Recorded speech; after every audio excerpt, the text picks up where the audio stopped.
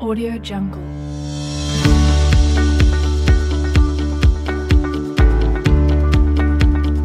Bueno, pues buenos días a todos eh, y comentaros que, el motivo principal de esta rueda de prensa era básicamente explicar, eh, por un lado, por qué mm, no ha habido declaraciones desde hacía mucho tiempo por mi parte y por otro lado atender a, a las preguntas que, que, quisierais hacerme vosotros, los, los periodistas que, que, os habéis congregado aquí.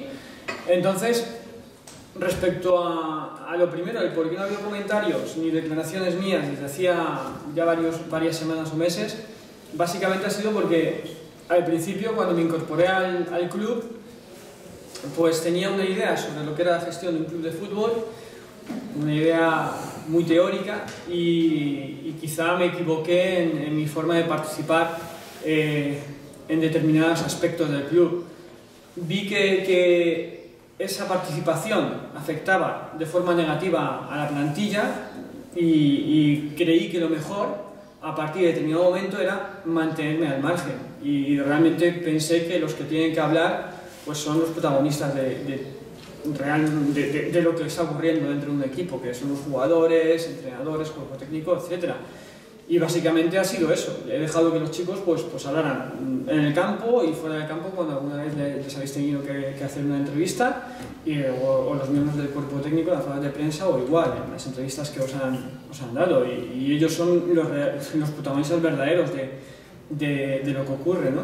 Yo simplemente asumí mi, mi rol, que era el, el gestionar el equipo, en, llegaban comentarios o llegaban críticas a través de redes sociales que yo no entendía, la verdad, porque yo me estaba dedicando a, a gestionar una empresa, igual que hacía con, con, la otra que tengo o las otras que tengo, y, seguía trabajando, trabajando en ello, que es lo único que entiendo, trabajar, trabajar en los proyectos que, que tengo para que salgan adelante. Entonces, bueno, pues a, a raíz de ahí, eh, cuando ya he visto que las críticas llegaban a un punto que, que no correspondían, pues decidí dar esta rueda de prensa para, para precisamente explicar el, el, por qué, el por qué he estado al margen. Respecto a la situación del club, mmm, tampoco entendía de dónde provenían los, las confusiones o, o malentendidos, porque el club sigue su camino, creo que deportivamente lo estamos haciendo bien o muy bien, todavía queda, eh, queda margen de mejora por el potencial de los jugadores que tenemos dentro de la plantilla y, y, llegar a ese margen de mejora. Eh, lógicamente, la inestabilidad dentro del cuerpo técnico que ha habido en los primeros meses de temporada ha afectado mucho, muchísimo, y ahora lo que estamos buscando precisamente es, es lo contrario, ¿no? encontrar ese punto de equilibrio dentro de en estado anímico de la plantilla que ya creo que se está consiguiendo y eh, en el deportivo pues que al final todas las piezas encajen las incorporaciones que, que se han producido durante este mercado de invierno y, y que esto empiece a funcionar como, como, la máquina en la que hemos puesto tantas ilusiones todos, ¿no? afición y, y, miembros del, del club. ¿no? Y por el tema económico, también comentaros que, que la situación sigue, sigue con normalidad. El, el club eh, ha afrontado los pagos que podrían haberle hecho desaparecer, como son con las instituciones públicas, ¿no? que, que, son los más complicados. De hecho, eh, no podríamos estar haciendo una ficha de, de, un club, o sea, de un jugador eh, que no sea español si no tuviéramos los certificados a corriente de pago con Hacienda y la Seguridad Social, que, que no solamente es que los haya afrontado el club, es que además la liga la liga mmm, los ha afrontado directamente. Entonces, ha sido la propia liga quien ha dicho, oye, mira, hay que pagar a, a Hacienda la Seguridad Social. Eh, por desgracia, la deuda que se había generado con Hacienda es, es de tal volumen y, tenía tanto retraso que ha supuesto unos recargos y unas sanciones eh, considerables, considerables. El por qué se ha llegado a este punto lo desconozco, Mm, yo lo que sí tengo son notificaciones de Hacienda al club y que no me habían sido entregadas ni las había recibido directamente yo, donde se estaban denegando aplazamientos que se habían en su momento también solicitado, que tampoco entiendo cómo dentro del fútbol profesional se pueden llegar a solicitar ciertos aplazamientos de deuda eh, tributaria, porque en teoría debería de dar para eso y más, pero bueno, ya no entramos a valorar eso, entramos a valorar que se habían producido una solicitud de aplazamientos que se habían denegado y que no me estaban siendo comunicados. Con lo cual, a mí cuando me ha llegado el paquete, me ha llegado mmm, la bola, pero muy grande. ¿no? Y, pero se ha hecho frente a todo. Se ha hecho frente a todo eso, eh, la plantilla y el resto de miembros del club están cobrando al día y no existe deuda que se esté generando durante la temporada a la que no se esté haciendo frente. Porque, sinceramente, creo que, que la viabilidad de una empresa eh, tiene que ser cubrir su día a día. Ahora bien, existe una deuda con otro tipo de, de, acreedores, proveedores de una serie de trabajos que se han realizado al club, principalmente eh, obras de construcción, que, que por un lado me generan mucha duda toda la gestión de esas obras de construcción por diferentes motivos y, y por otro lado eh, el club no tiene disponibilidad para poder hacer frente a esas deudas. Pero, pero a ver, como acreedores que son del club, pues tendrán que hacerlo mejor para, para, para, este equipo y tendrán que adaptarse a un calendario de pagos. Hay un despacho que está haciendo una gestión de lo que es la, la deuda del club, una reestructuración de deuda que en todas las empresas, o en muchas empresas que han sufrido un, golpe importante a nivel económico, eh, se ha dado y no pasa nada, se reestructura la deuda, eh, se ponen unos plazos de pago en los que el club pueda hacer frente y se espera que ese club o esa empresa vaya evolucionando, vaya generando más negocio para que el día de mañana pues, todo se pague con normalidad. Eh, ¿Cuál es el objetivo de esta empresa, de este negocio? Pues volver mínimo a la segunda división. Este equipo tiene que estar en segunda división en tres temporadas máximo. Máximo. Y de hecho, esta temporada tenemos que pasar ya a segunda B. Mm, que estamos teniendo resultados a veces un poco, bueno, un poco negativos. Bien, yo siempre he considerado que el equipo que, que, que aquí se ha creado ha sido con la idea puesta en segunda división B. Muchas veces hay equipos de segunda división B que si juegas en eh, determinados campos de fútbol, pues tienes dificultades para desarrollar tu juego.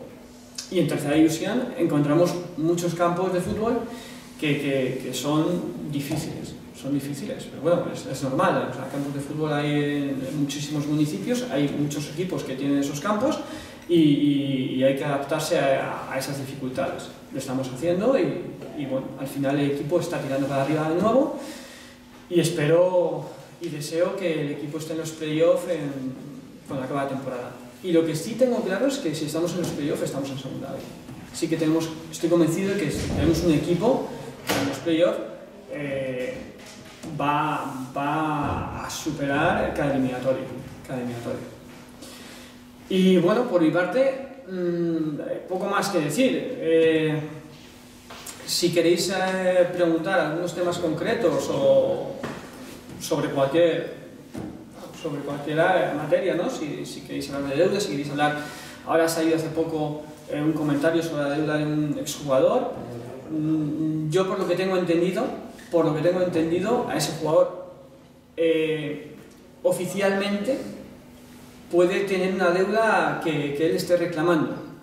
Extraoficialmente, a mí lo que me han dicho es que a ese chico se le pagó todo, solamente que no, pues bueno, pues o no se hizo firmar, o, o se hicieron las cosas de aquella manera, o, se le pagó una cantidad por encima de, lo que se le debían en otras y se entendió que ya con eso compensaba lo que, lo que a él se debía por otra parte, y bueno, pues al no firmar, eh, pues el chico ahora tiene oficialmente la posibilidad de reclamar.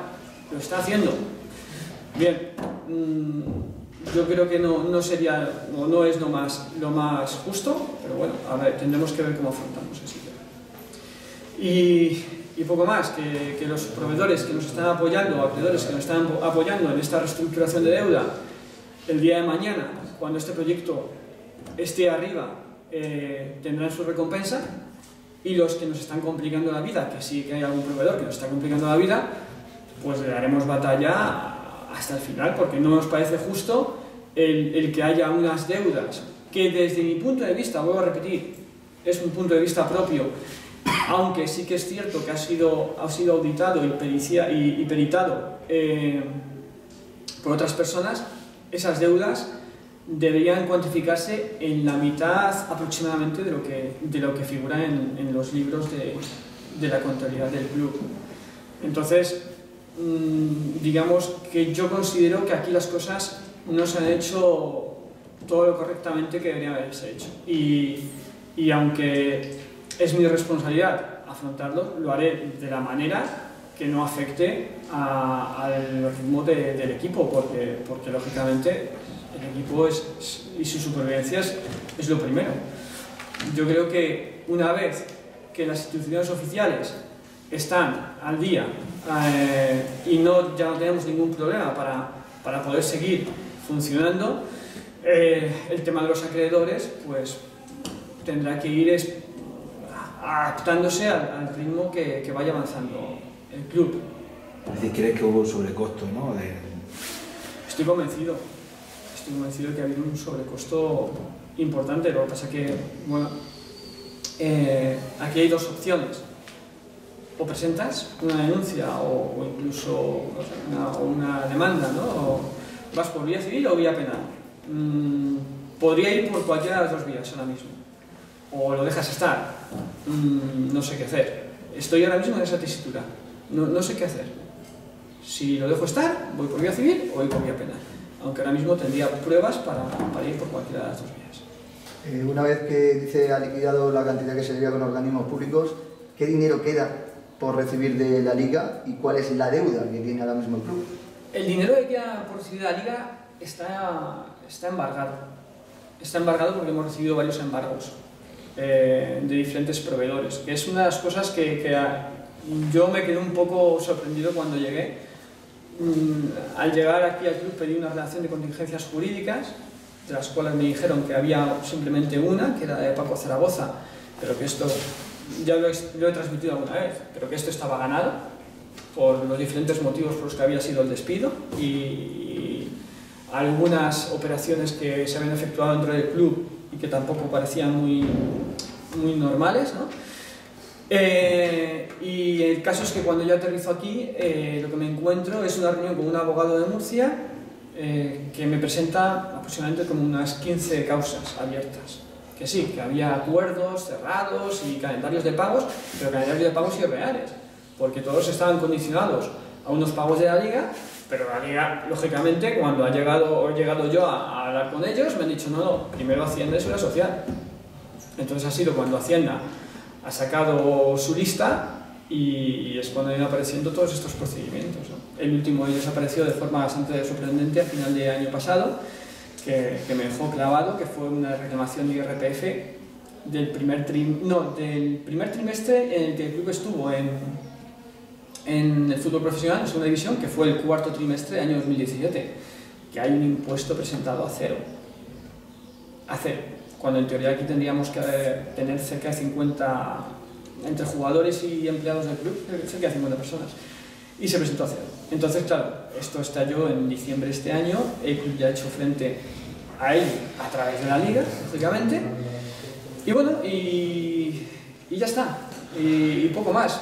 Eh, la liga hará con lo que queda por cobrar, hará frente a esas reclamaciones o a esos embargos presentados por, por diferentes acreedores y, y, el resto que no cobren pues tendrán que adaptarse al calendario de pagos que el club pueda permitirse. Entonces, ¿la deuda con la federación la estás afrontando tú personalmente?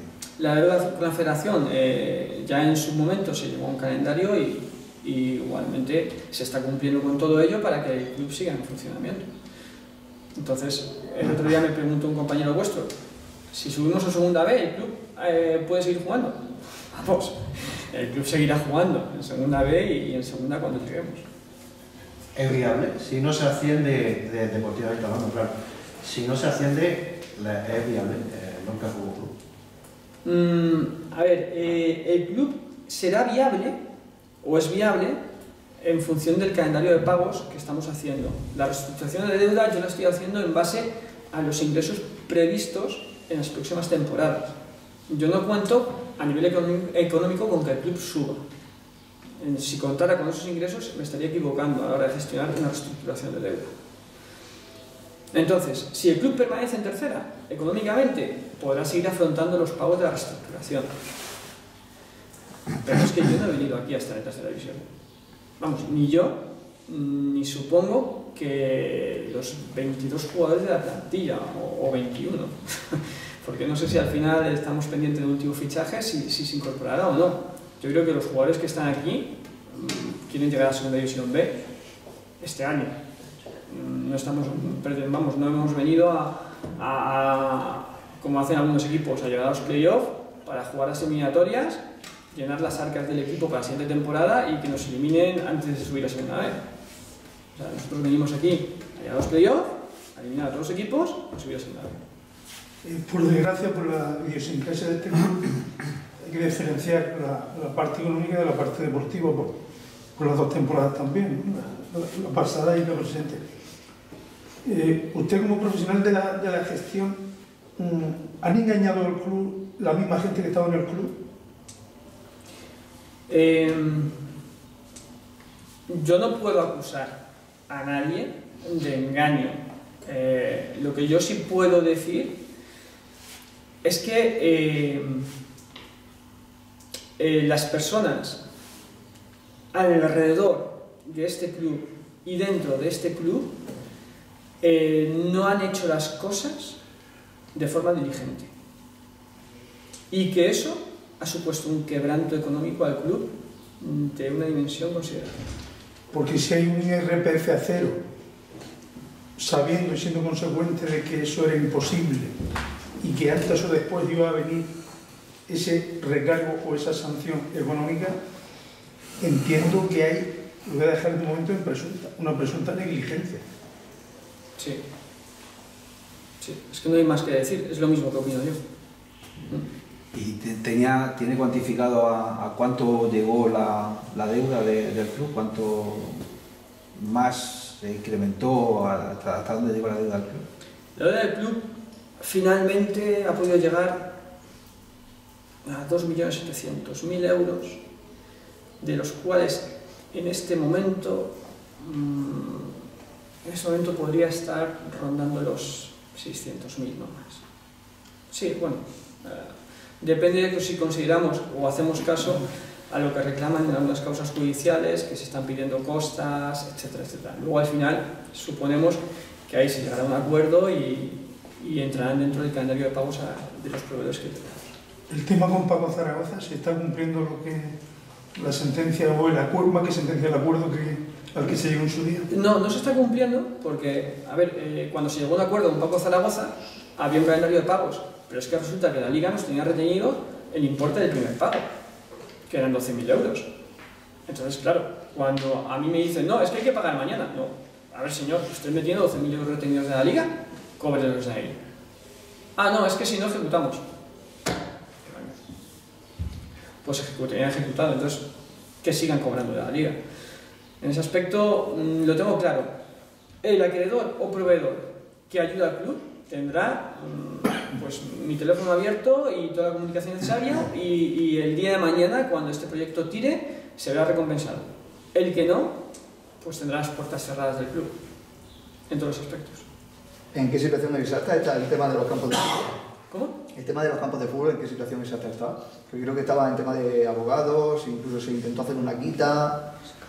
No, es que había muchos proveedores en los campos de fútbol. Entonces, eh, con algunos se está llegando a acuerdo y con otros, con otros no. Mm, principalmente el mayor incremento de, deuda corresponde a, a, esas obras que se hicieron tanto dentro de las instalaciones del estadio como fuera, en los campos de fútbol, y las mayores irregularidades que yo he encontrado eh, provienen de ahí, de todos estos trabajos.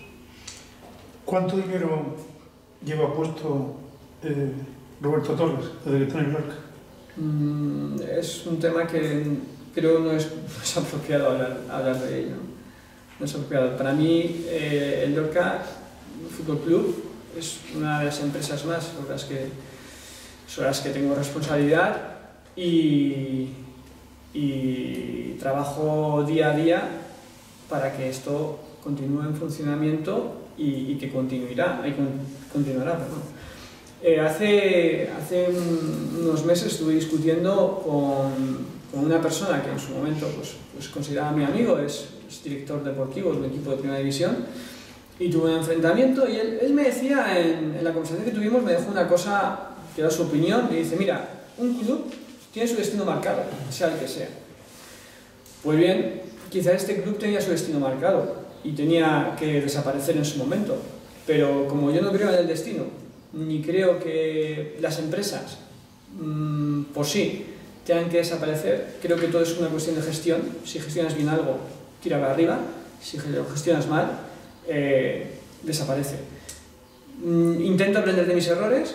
Creo que cuando llegué también aquí a, esta- este, este grupo cometí muchos errores. Eh, intento corregirlos, algunos los he podido corregir, otros pues son errores que han permanecido y que, y que, bueno, pues tuvieron sus consecuencias. Eh, pido perdón a las personas a las que haya, podido afectar esos errores y, y tengo que seguir funcionando. ¿Cuál ha sido su mayor error? Eh, mi mayor error ha venido, yo creo que ha sido dentro del ámbito deportivo. Sí, el, el haberme implicado o haber querido implicarme en, en una serie de, de, áreas que creo que no me correspondían. Mm. Bueno, hay que aprender a veces a base de golpes. Ha llegado incluso, bueno, llegó a sonar la posibilidad de, de un grupo inversor estaba también interesado en el club, que a final de temporada podía a lo mejor sumarse, unirse eh, para sacar el proyecto adelante. No sé si hay algo esa situación adelantado, avanzado, si el futuro está ligado solo a Roberto Torres o podría haber alguien más. El futuro en segunda B sí estará ligado a, otros grupos inversores. En segunda B.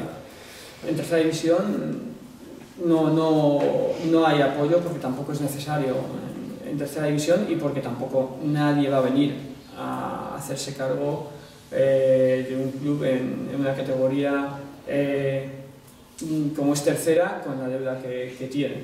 Entonces, mientras que estemos en tercera, yo me encargaré de gestionar el equipo y de, administrarlo. Cuando estemos en segunda B, buscaré, buscaré un apoyo que nos ofrezca la garantía suficiente para que el club siga, siga avanzando en sus objetivos.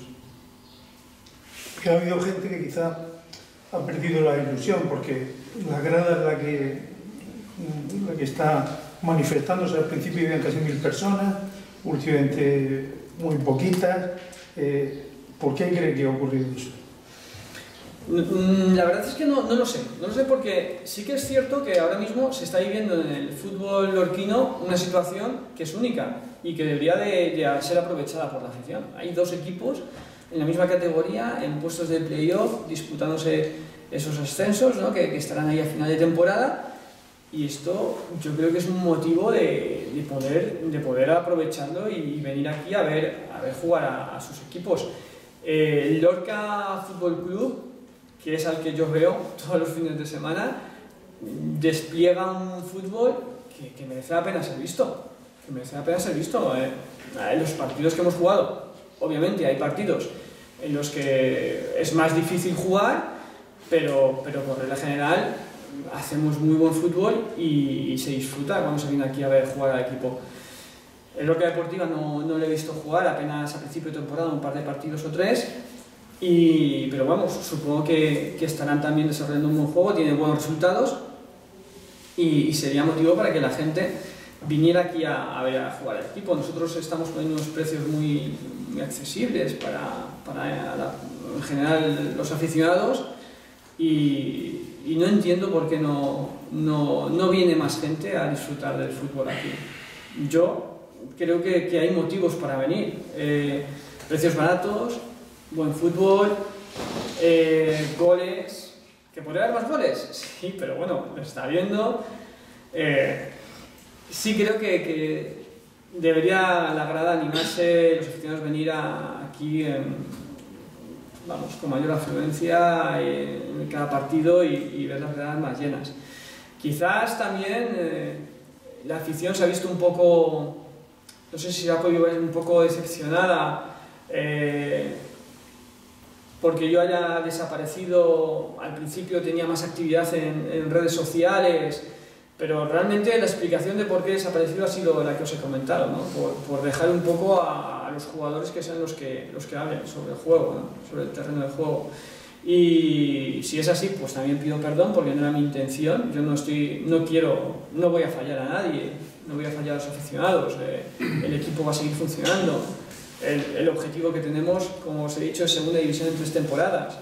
Entonces, sí que sería bonito, porque hay muchos jugadores que estoy convencido que nos van a acompañar en esta carrera. Son jugadores jóvenes los que tenemos en el equipo, eh, como también he comentado antes, con un potencial tremendo eh, que muchos de ellos todavía tienen que desarrollar ese potencial y la afición que venga los va a ver crecer con el equipo. Entonces, yo creo que es muy bonito ver a jugadores que les has visto desarrollarse desde, desde que estábamos aquí en tercera división. Hay una palabra que utilizamos mucho y que quizá a muchos nos gustaría, mm, fusión, fusión de los dos equipos los equipos.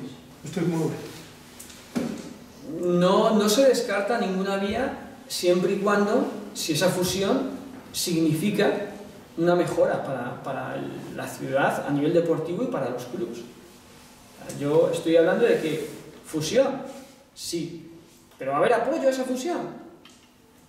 Porque si me dicen, no, no, os fusionáis o nos fusionamos, pero va a seguir habiendo cierta apatía por, el fútbol de cara a, cierto sector, pues entonces ¿para qué nos vamos a fusionar? Yo el Fútbol Club, desde que lo, estoy gestionando, eh, vamos, estoy implicadísimo, estoy a muerte con este club. Entonces, mm, cada día significa más para mí, cada día lo siento más. Entonces, para mí el Lorca Fútbol Club significa mucho. El año que viene, cuando logremos el ascenso, significará más. Entonces, si, si existiera una fusión, tiene que ser porque el, resultado de esa fusión va a significar algo todavía mejor para el club. Pero si una fusión no aporta nada, no hay fusión. No sé si tenéis alguna más pregunta. Sí, bueno, comentado anteriormente la posible incorporación de un nuevo fichaje. ¿Cómo está esa, esa situación? Es, es, un jugador que, que, tiene, que tiene nacionalidad extranjera y, y, por tanto estamos esperando a situación de visado. Si se resolviera, pues se incorporaría y si no, pues, pues no podría. ¿Qué demarcación? Pues es el centro del campo. Bien, señores. Gracias. No, gracias a vosotros. Audio Jungle.